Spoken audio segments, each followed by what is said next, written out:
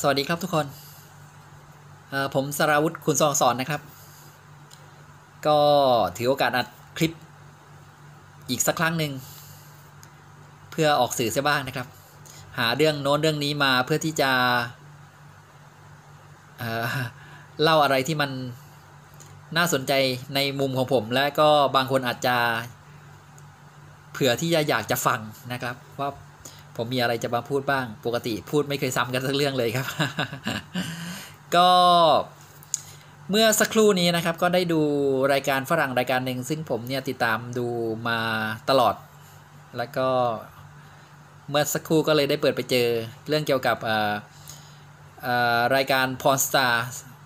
รายการของฝรั่งนะครับ ซึ่งจะมีการเอาของเก่าๆ โบราณหายากแล้วก็เป็นของที่นักสะสมเล่นหาเนี่ยมาที่ร้านจำนำเพื่อที่จะขายหรือตีราคานะครับ แล้วก็เป็นธุรกิจอย่างหนึ่งซึ่งเป็นที่นิยมใน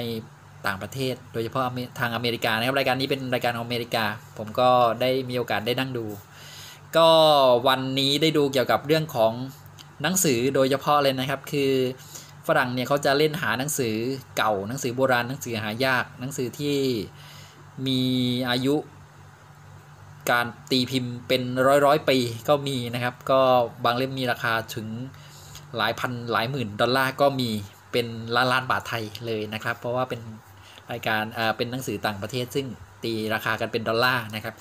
ก็มีอยู่เล่มหนึ่งเมื่อสักครู่นี้เองครับก็ได้ดู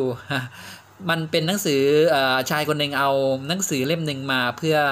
ขายให้กับร้านจำนำหนังสือเล่มนั้นเนี่ย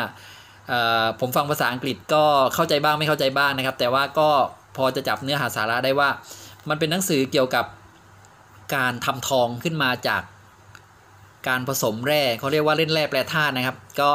จากการที่นักคิดในสมัยโบราณทำการ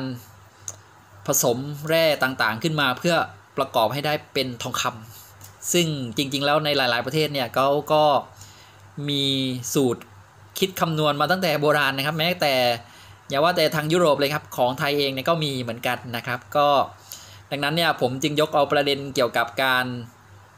ทำทองด้วยการผสมเล่นแร่แปรธาตุขึ้นมา เล่าให้ฟัง ในความรู้ที่ผมได้รับรู้รับทราบมา เท่าที่มีเท่าที่ได้ประมวลมาจากความรู้ที่ผมมีนะครับอาอาจจะเป็นเพียงการวินิจฉัยของผมจากการประมวลข้อมูลต่างๆ ที่ผมได้มา มากน้อยก็ถือว่าฟังเอาไว้ในแกในแกนที่เป็นประเด็นที่ผมเอามาก็แล้วกันนะครับ ก็เอ่อหนังสือเล่มนี้เนี่ยอาจจะเป็นแค่ประเด็นตั้งต้นให้ผมเนี่ยเอาเรื่องนี้มาพูดใช่ไหมครับ ก็จริง ๆแล้ว การการซื้อหนังสือเล่มนี้ก็หลายหมื่นกว่าดอลลาร์เหมือนกันนะครับ เมื่อการตีราคาได้สำเร็จ เพราะว่ามันเป็นหนังสือเก่า แต่ว่ามันทำให้ผมนึกถึงเรื่องของผมเรื่องหนึ่งซึ่งเเมื่อตอนที่ผมเป็นวัยรุ่นอายุสัก 18 ปี ซึ่ง 17 18 นะครับ ตอนนั้นปีนั้น ก็ผมเข้ามาหาลัยแล้วล่ะ อายุ 17 ปี 18 ปีนะครับ ก็ตอนนั้นผมเนี่ยมาอยู่ที่วัดสมนัตที่ที่กรุงเทพนะครับ แถวนางเลิงแล้วก็วัดสมนัตที่เป็นวัดเก่าในสมัยรัชกาลที่ที่5นะครับ ก็เขาจะมีห้องสมุดโบราณ แล้วก็มีตู้พระไตรปิฎกปิฎกเก่านะครับ เก่ามากเก่าก็ตั้งแต่สมัยโบราณนะครับ ซึ่งเป็นอาคารนั้นเนี่ยเอ่อเป็นอาคารห้องสมุดเก่า แล้วก็อยู่ชั้นบนซึ่งมีแต่ฝุ่นจับเกาะ แล้วก็เป็นสถานที่ที่วังเวงน่ากลัว แม้แต่กลางวันก็น่ากลัวกลางคืนนี้ผมไม่กล้าเข้าไปเลยแหละ แต่ว่าผมเคยขึ้นไปในช่วงเวลากลางวัน ซึ่งแม้จะวังเวง แต่ว่าผมก็ทำใจดีสู้เสือขึ้นไปนะครับ เพราะว่ามันมีตำนานผีอยู่ไม่น้อยเหมือนกันที่นั่น ก็ทำให้แต่ว่าผมก็ก็ขึ้นไปนะครับ เพื่ออยากที่จะหาหนังสืออ่าน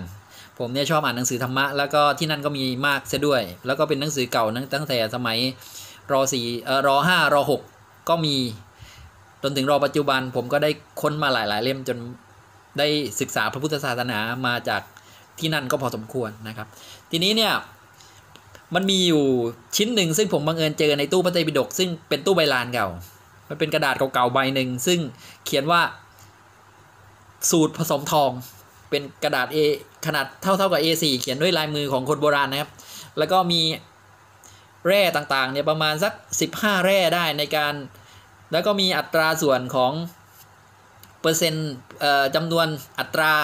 มวลที่ว่าจะเอามาผสมกันเพื่อให้ได้อัตราส่วนของความเป็นทองคำจะบอกเอาไว้อย่างละเอียด เขียนเป็นจำนวนเอาไว้ว่าควรใส่เท่านี้ สารตัวนี้ใส่เท่านี้แร่ตัวนี้ใส่เท่านี้อย่างนี้อย่างนี้อย่างนี้ก็เป็นหนังสือโบราณในการทำทองคำนะครับ ตอนนั้นเนี่ยหลังจากที่ที่ผมเนี่ยดูคร่าวๆใช่ไหมครับว่า มันมีอย่างนั้นอย่างนี้อย่างนี้อยู่มากแล้ว แล้วก็มีเปอร์เซ็นต์เท่านี้เท่านี้มาแล้วก็ไม่ได้ให้ความใส่ใจ เพราะอะไรครับ เพราะว่าผมคิดขึ้นมาในใจว่าอืถ้าเขาทำทองได้เนี่ย เขาก็รวยกันไปหมดแล้วทำไม มันเป็นไปไม่ได้หรอกไอการทำทองให้มันเกิดขึ้นน่ะ แต่ว่าผมก็เลย ไม่ให้ความสำคัญกับมัน ไม่ให้ความสำคัญมันก็เลยทิ้งเอาไว้ในตู้เหมือนเดิม แล้วก็หลังจากนั้นน่ะย้ายออกไปแล้วไม่ก็ไม่เคยเออก็ไม่ได้กลับไปที่วัดโสมมาหลังจากเรียนจบใช่ไหมครับหลังจากเรียนจบอายุ 20 กว่าๆก็อายุ 20 ก็เรียนจบ แล้วก็ออกไปทำทำงานทำงานต่างๆ ก็ลำลึกขึ้นมาได้หลังจากนั้นอีกสองสามปีว่า เอ๊ะเราก็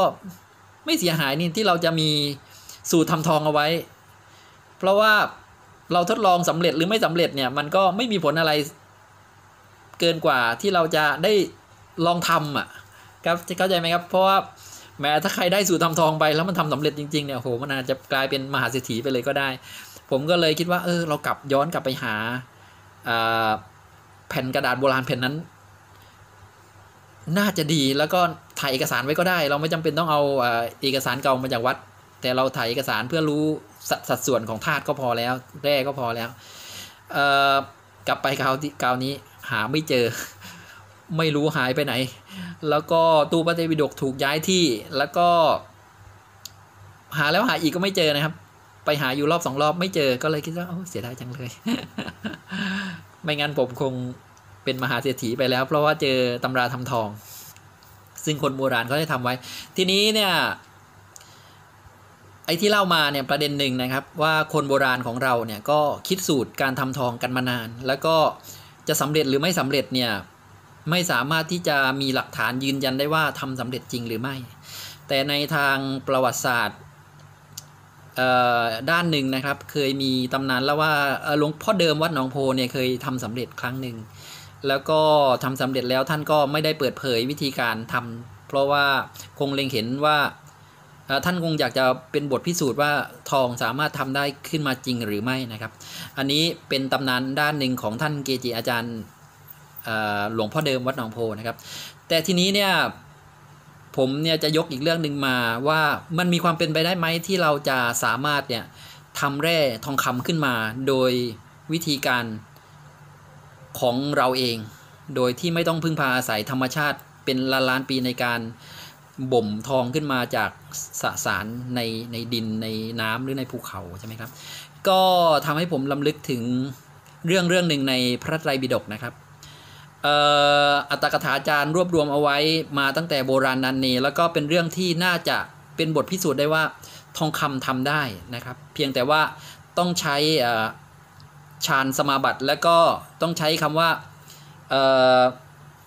ต้องเข้าเข้าฌานได้ถึงระดับ จตุตฌานจนสามารถแสดงฤทธานุภาพโดยปาฏิหาริย์ในสภาวะแห่งฌานนะครับ ดังนั้นเนี่ยผมจะเล่าคร่าว ๆ เอาไว้อย่างหนึ่งสำหรับท่านที่คิดว่าเอออยากจะลองขอโทษครับพอดีอาจารย์คืออย่างนี้ครับในคัมภีร์ของพุทธศาสนาของเราเนี่ยครับก็มีวิธีการนั้นอยู่ ก็คือบรรยายเอาไว้ในเรื่องเกี่ยวกับอนุภาพทางจิตของผู้สำเร็จฌานนะครับ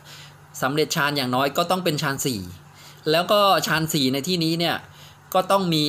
กสินเป็นสีเหลืองมีเป็นอารมณ์นะครับต้องใช้อ่าการฝึกสมาธิในชั้นในชั้นให้บรรลุถึงฌานสี่โดยอาศัยสีเหลืองเป็นเป็นบาทเป็นฐานในการฝึกสมาธิ ก็